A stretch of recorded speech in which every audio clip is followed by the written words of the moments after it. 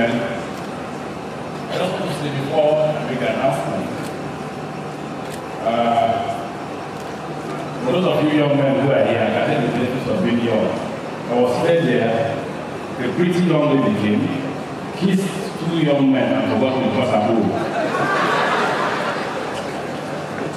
the next thing to say is that from Saturday the 30th of November, the Ministry of Transport will be running free train ride. Speed train, 120 kilometers per hour from Lagos to Ibadan, free of charge for three months. Free. You can join me on Saturday.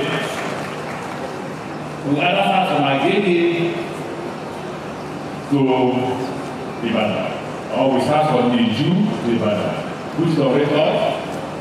Before January, we increase the coaches. We're to see how it will work out. Good evening, everybody. It's an honor to be here to present this award to young journalists who have excelled. It warms my heart to no end to know that there's a new generation that is not only carrying out this important task of informing the public, but is also excelling at it. Before we get on with the task at hand, however, I'd like to seek your indulgence to pass a message from the Newspaper Proprietors Association of Nigeria, the Nigeria Guild of Editors, the Nigeria Union of Journalists, the Guild of Corporate Online Publishers, and the Online Publishers Association.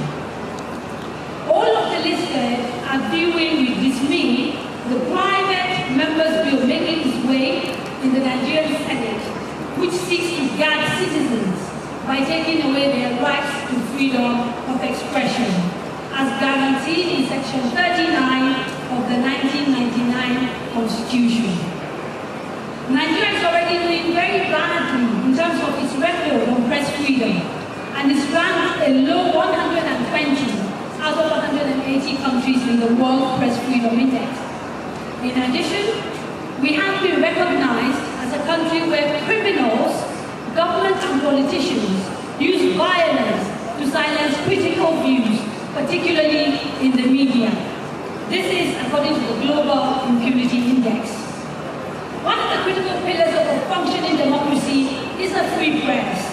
And we know that the proposed social media bill will become another tool in the hands of security agencies for the muzzling of criticism, not just by citizens but also by journalists. As journalists, our job underpins democracy and is one of the vital components. This is, this is why it is a job that is protected by the Constitution. Section 22 lays it out clearly for a reason, which is that without a free press, there will be no democracy. We all believe that the proposed new social media bill presents a clear and present danger to journalists and also to the rights of citizens to freedom of expression and is against the Nigerian Constitution.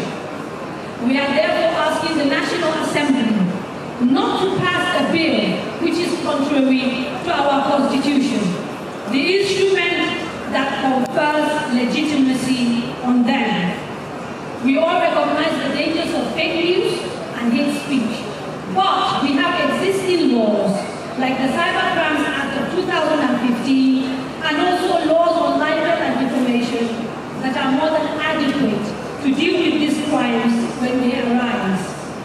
The industry is also happy to announce that we are working on self-regulation in line with global best practice.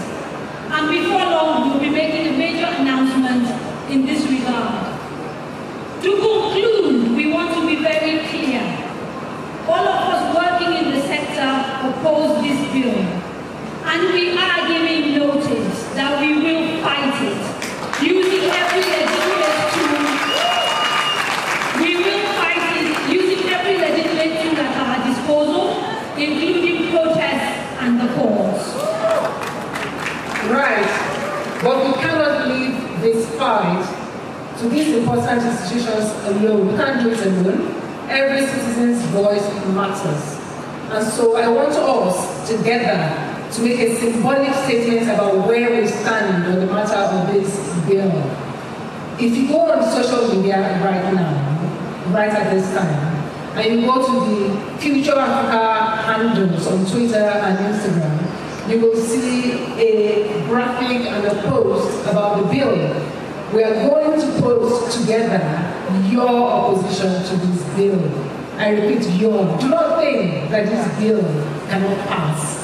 I have been writing and telling stories and speaking with the most powerful voice in the country, with the most powerful people in the country for over two decades. Yep, I'm that old. And I know that the worst things happen when citizens don't fight for what belongs to them. Democracy doesn't protect itself. People, you and me, are the ones who protect democracy.